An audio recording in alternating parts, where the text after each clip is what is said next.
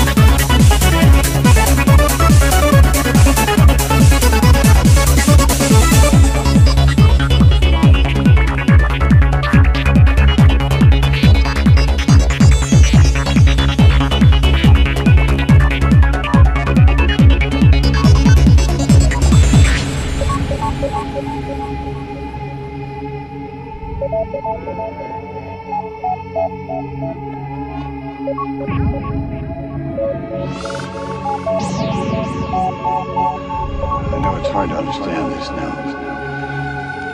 We aren't always meant to know the reasons why things happen the way they do. Sometimes we just have to accept it